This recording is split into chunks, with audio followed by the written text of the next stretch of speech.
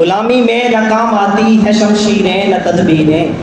غلامی میں ناکام آتی ہے شمشیریں، نہ تدبیریں۔ جو ہو ذوق یقی پیدا تو کٹ جاتی ہے زنجیریں۔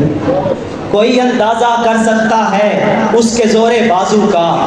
کوئی اندازہ کر سکتا ہے اس کے زور بازو کا؟ نگاہ مرد مومن سے بدل جاتی ہے تقدیریں۔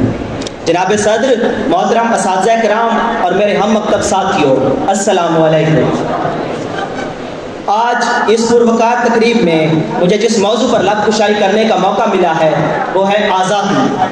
صدر علی بکار آزادی کی قدر و قیمت صرف وہی جانتا ہے جس نے پابند سلاسل کی تکلیفیں جھیلی ہوں، غلامی کی زنجیروں میں جکڑا رہا ہو اور قید و بند کی سعودتیں برداشت کی ہوں۔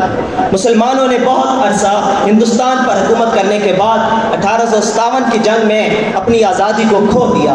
اس کے بعد مسلمانوں کے عروج کو زوال ملا۔ اور مسلمانوں نے طرح طرح کی سختیاں برداشت کی۔ آزادی افکار سے ہے ان کی تباہی۔ آزادی افکار سے ہے ان کی تباہی۔ رکھتے نہیں جو فکر و تدبر کا سلیقہ۔ رکھتے نہیں جو فکر و تدبر کا سلیقہ۔ صدر زی بکار، آزادی۔ کیا ہے یہ آزادی؟ آزادی کھلی فضا میں سانس لینا ہے۔ اسلامی اصولوں کے مطابق زندگی گزارنا آزادی ہے۔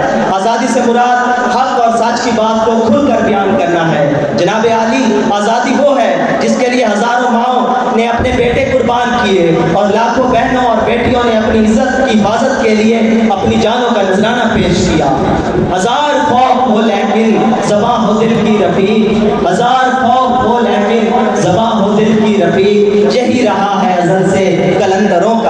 کا طریق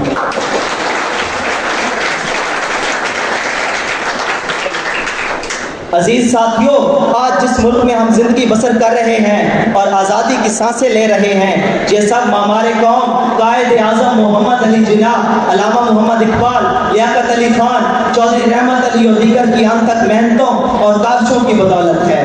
اگر علامہ اقبال نے الگ وطن کا خواب نہ دیکھا ہوتا اور قائد اعظم نے اس عرض پاک کے اصول کے لیے رات دن ایک نہ کیے ہوتے، تو آج ہم بھی انگریزوں اور ہندوؤں کی غلامی کر رہے ہوتے یوں دی ہمیں آزادی کہ دنیا ہوئی حیران، یوں دی ہمیں آزادی کہ دنیا ہوئی حیران۔ اے قائد اعظم، تیرا احسان ہے احسان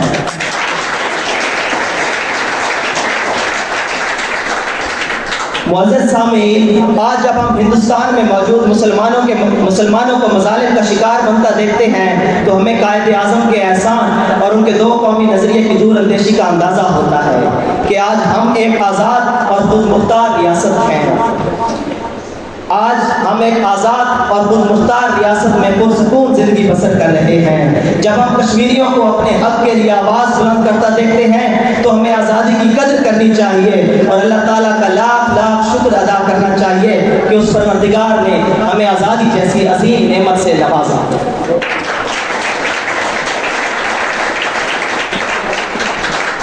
صدر علی بکار، تو میں یہاں یہ کہنے پہ حق بجانے دور حاضر میں پاکستانی لوگوں کو آزادی کی قیمت کا اندازہ نہیں، کیونکہ ہم نے قید کو محسوس ہی نہیں کیا۔